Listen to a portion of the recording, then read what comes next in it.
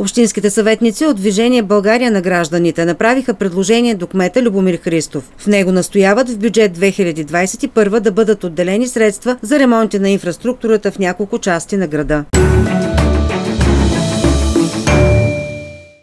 Аз, Бисерка Йовчева, Христофор Крумов сме направили нашите писмени предложения какво да се включи в бюджета на общината. Направихме го предварително, за да го имат предвид още при подготовката на бюджета, да не се налага след това да променяме рамката, да търсим откъде да вземем пари, за да осигурим средства за тези нужди. А те са следните. А, за улица, която свързва блоковете на улица Асен Златаров номер 15 и 16 с главния път от 5 км до града.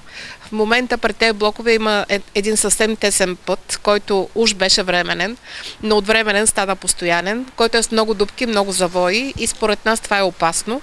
Хората там настояват да се свържат с главния път, да имат по-пряка връзка и поради тази причина това е предложение на госпожа Бисерка Йовчева.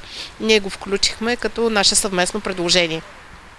Другото предложение. Преди да отидем на другото предложение, колко души живеят в този блок? За много хора ли говорим или изолирано две-три семейства? Не, не са две-три. Това са два големи блока на улица Асен Златаров 15 и 16. Много хора живеят, така че техните нужди ще бъдат удовлетворени по този начин. А да не говорим, че вероятно ще се отвори връз... по-добра връзка и с квартал Еверест защото тези блокове се намират там в този район. Булевард Симеон Велики, вътрешното платно.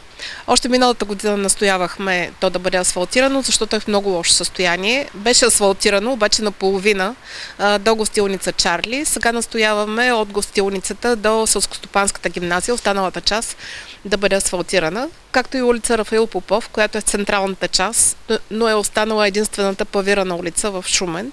А, там също има много вдлъбнатини и де-факто се затапва движението. Като не минават а, колите по тази улица, а, става по-трудна връзката между цар Иван Александър и цар Освободител. И третата точка? А, другото ни предложение е свързано с гаровия площад между автогарата и ЖП гарата. Аз имах питане а, до кмета миналата година и той пое ангажимент при отговор на моето питане да бъде осигурено осветлението на гаровия площад.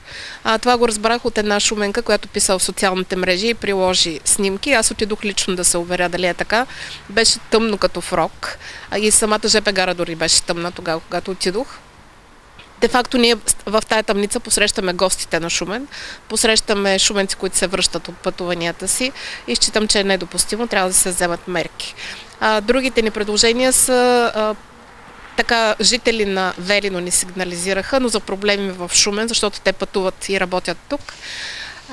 Става въпрос за участъка между магазин Крис и между Сердика, където няма тротуари и няма осветление също. Хората сутрин рано отиват на работа в кал и в тъмнина. Сигнализираха ни за подлеза на автогарата, където няма достъп за инвалиди и достъп за бебешки колички. А общината е задължена да осигури такъв достъп, както и за много лошото състояние на самата спирка на автогарата, която не може да предпази хората от дъжд и студ. Очаквате ли тези ваши искания да бъдат включени в бюджета и ако това не стане, какво ще предприемете? Надяваме се да бъдат включени. По-голямата част от тях ще погледнем сега. Утре има, обществено обсъждане на бюджета и аз искам да използвам случая да поканя шуменци. Той е в 2 часа в зала професор Венета Вичева. Нека да дойдат и те също да поставят своите искания.